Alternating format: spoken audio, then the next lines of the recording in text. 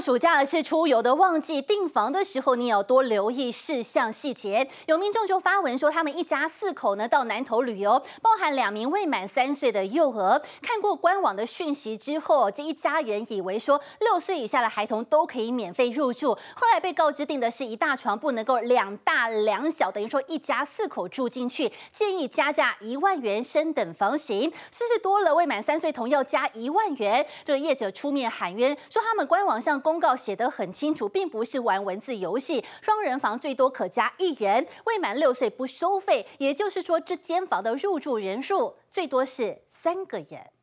木质调设计，空间整齐明亮，从房内一眼望出去就能将绝美湖景尽收眼底。位在南投日月潭这间旅店开幕后颇受欢迎，如今却传出争议。有民众发文说自己带着两个未满三岁的幼儿，一家四口到南投出游，入住这间饭店。当时查看官网讯息，认为六岁以下的孩童可以免费入住，没想到却被告知他订的是一大床，没办法两大两小入住，质疑业者在玩文字游戏。不过业者也出面喊。喊冤认为注意事项明确写在官网，双人房最多可以加一人，也就是最多三人入住。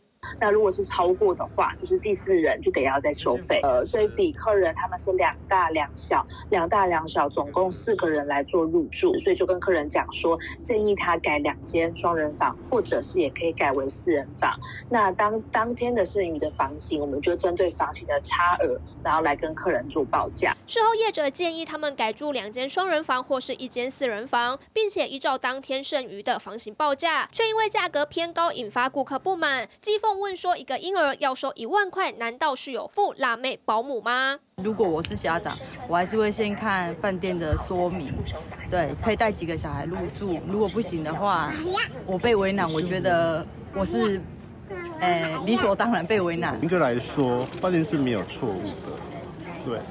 因为这是我们有带小孩，甚至有宠物的时候，我们都去注意的事情。天文一出，瞬间引发民众热议。下回出游订房须知，还是得再三留意，免得开心出游，最后却败兴而归。记者王伟斐、魏少宇、胡杰伦南投报道。